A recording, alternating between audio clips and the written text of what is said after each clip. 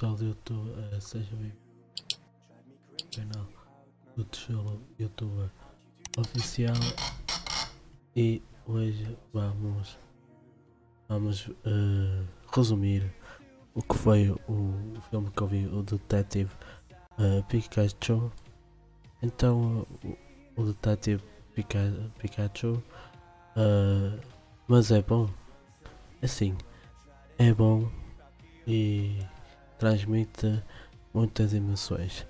O Detetive Pikachu uh, era, um, era um Pikachu que ele andava a resolver o caso do seu parceiro, o chamado Harry. Depois encontrou o filho do, do Harry, eu já não me lembro qual é o nome, mas uh, futuramente vai dar né, o, o Harry. Então eles tentaram resolver o caso. Ao tentar resolver o caso, foi chamado o Pokémon Mewtwo.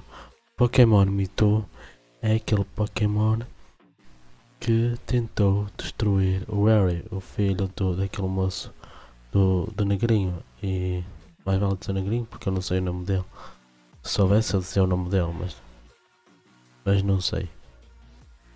Então, uh, esse, esse filho dele uh, tentou resolver o caso do pai com o Pikachu.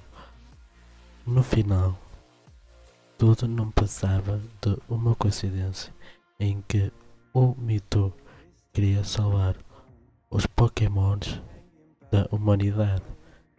E, e foi isso que aconteceu. Mewtwo salvou os Pokémons e a humanidade.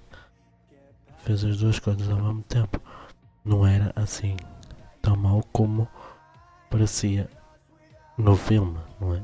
Porque no filme ele parecia assim estrondosamente mal, mas felizmente isso não aconteceu. E, então ele, o, o miúdo pratinho, o miúdo pratinho uh, encontrou a sua namorada. Houve ali um romance, como é óbvio. Enquanto houve ali um romance, uh, as personagens desenvolveram-se, teve muita desenvolvedora de uma amizade.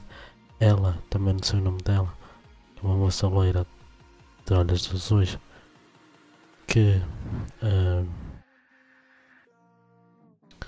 se apaixonou por ela e tentou resolver junto o caso com aquele moço.